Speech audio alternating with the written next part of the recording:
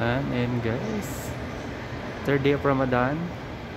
Dito po ako naka-duty sa Popeyes sa restaurant. Ito sa Timor Birds.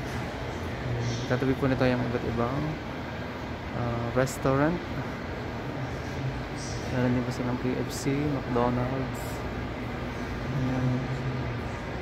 Napakalaki po itong restaurant na to. Po yung uh, second floor, yung family area. Ayan. May safari po, yung kalaruan. Ayan. Ilang tao ngayon. Ayan. Bakanting upuan. Ayan. Yung ibang tindahan sarado, yung ibang tindahan bukas pa. Ayan. Second day of Ramadan. Ah, no, third day of Ramadan. Ito po yung restaurant namin, Papay's. May palaroan din po para sa mga bata. Ayan. Ito po. Meron pong kainan, may palaruan. Ayan. Ito po yung second floor. Ayan.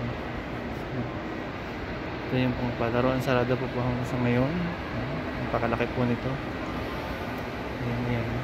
Mga family, may may Kudo, McDonald's, Canton, KFC, ayan po, family area po siya.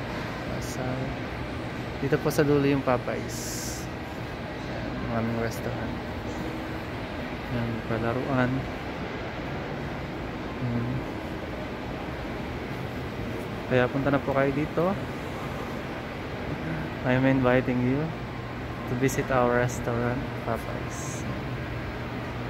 Hmm. Malawag pa. Ganda ng ilaw. Andun yung palaruan sa dulo. Ito yung sa mga bata.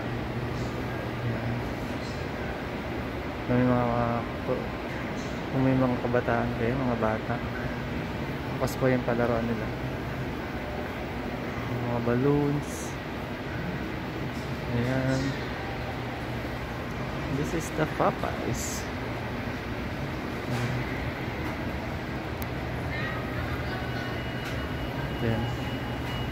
Lang may social distancing.